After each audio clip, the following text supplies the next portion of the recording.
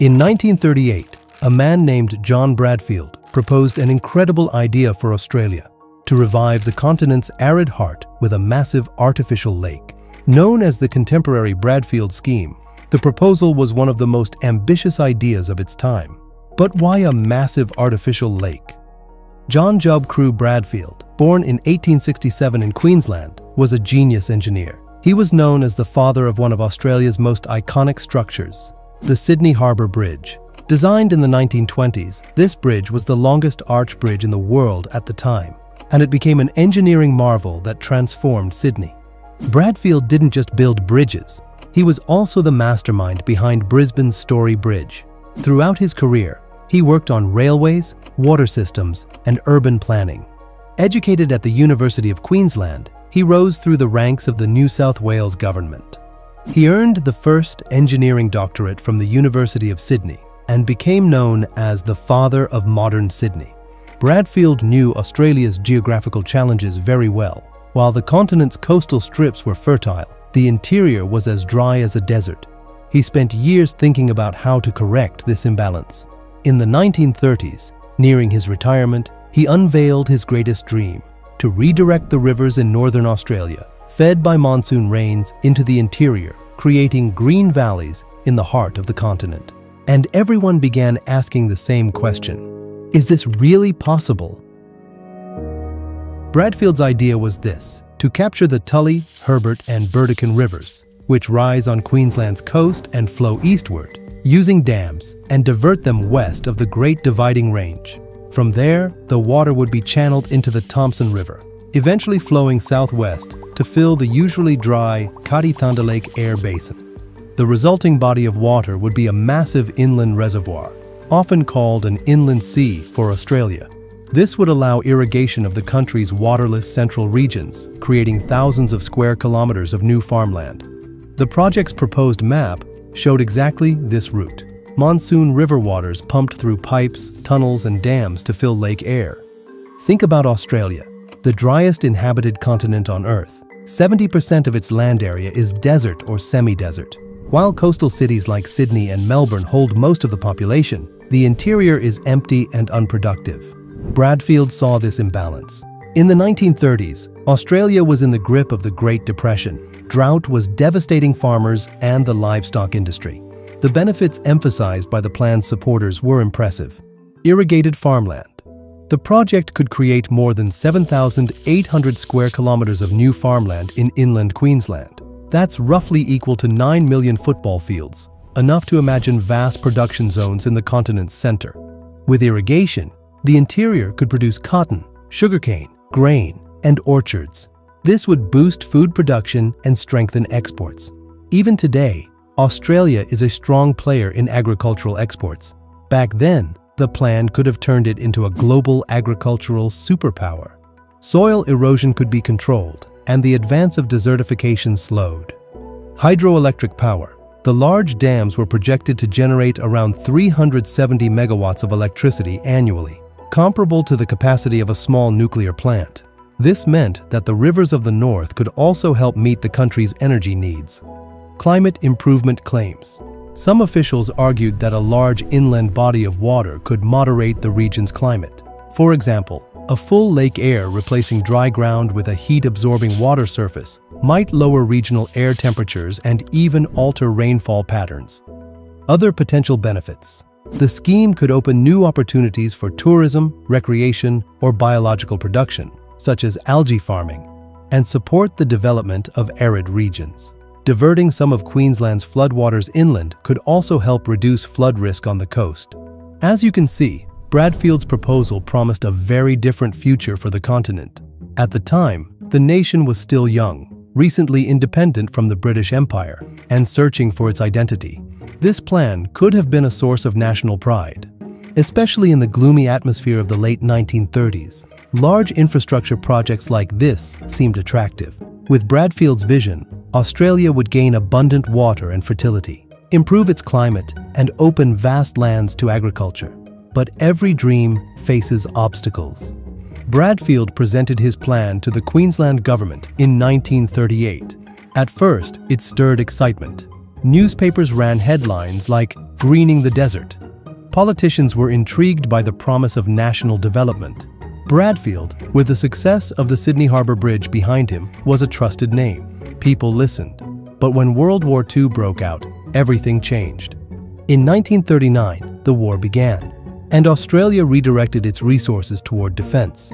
Dams gave way to tanks, tunnels to trenches. Even after the war, as the economy recovered, the cost of the project was daunting. Bradfield's own calculations ran into billions of pounds, a staggering sum for that era. The reaction of the time was mixed. Some scientists and engineers supported it. Queensland farmers were hopeful, but critics multiplied. Geologists argued that there simply wasn't enough water.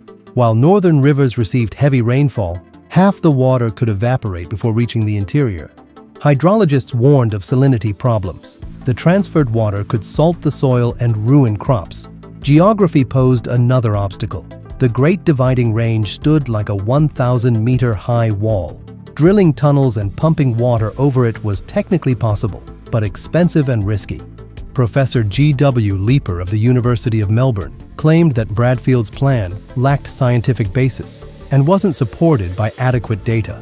Measurements from the 1930s were insufficient, and barometric elevation estimates could produce misleading results. As time passed, the project's practical issues became clearer. In 1947, a technical review led by W.H.R. Nimmo showed that Bradfield had overestimated river flows and available water, the usable water figures were far too optimistic. Nimmo's report also noted that costs and technical challenges would make the project difficult to execute. This critical assessment triggered the plan's first major setback. Moreover, the enormous scale of the project stretched the technological and financial limits of the time. It would have required hundreds of kilometers of pipelines, thousands of pumping stations, and massive dams, construction technology was not yet suited to such extensive pipe and pump systems. Ultimately, Bradfield died in 1943, just five years after first presenting his plan. But the idea didn't die with him. It was discussed again in the 1950s and 60s, and with minor modifications, resurfaced several times. In 1981, the opposition party in Queensland proposed a new Bradfield version. In 2007, Queensland Premier Peter Beattie even called on the Bush administration to conduct a new review, but the preference at the time shifted toward other solutions, such as desalination instead of huge dams. In 2019, some federal political leaders requested a re-evaluation of the project. That same year, Queensland's opposition party defended it as a long-term strategic investment. Today's scientists and governments don't look at this old project through nostalgic glasses, but modern assessments find the Bradfield scheme unsustainable. A Queensland government report published in December 2022 completely scrapped the idea. It emphasized that despite the enormous infrastructure costs, the available water supply would still be insufficient. Estimated costs exceeded $30 billion, and the report's conclusion was blunt. If there is consistently insufficient water, no Bradfield plan can work. This confirmed scientifically that the project was simply unfeasible.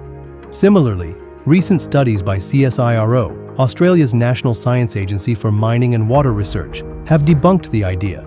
According to CSIRO's 2020 analysis, while it is technically possible to transport water over such distances, building the infrastructure would be economically unviable. The research also found that the maximum amount of water that could be taken from the north was much less than Bradfield's estimates, about half. The conclusion was that using water close to where it falls is much more effective for regional development. In other words, data from the 2020s recommend building small-scale mini-water grids near the coast instead of massive inland projects. In summary, scientific and economic analyses today consider Bradfield's grand plan impossible.